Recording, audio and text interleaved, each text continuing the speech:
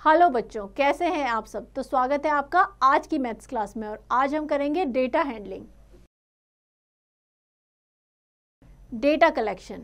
Count and write the number of shape in the given picture.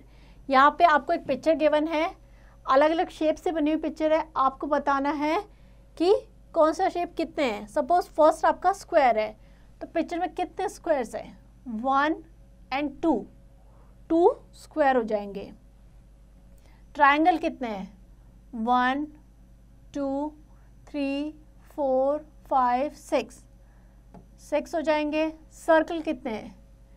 One, two and three. Three हो जाएँगे।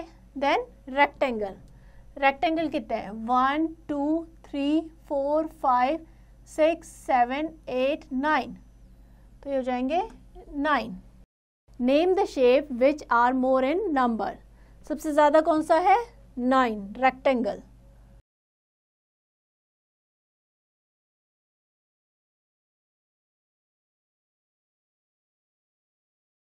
name the shape which are less in number कौन सा shape है जो सबसे कम है?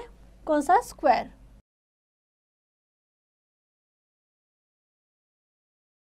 तो इस तरीके से हमने पिक्चर से डेटा कलेक्ट किया और उससे जो भी क्वेश्चन है, हम उसका आंसर कर सकते हैं। तो ये एक्सरसाइज आपको खुद से प्रैक्टिस करनी है।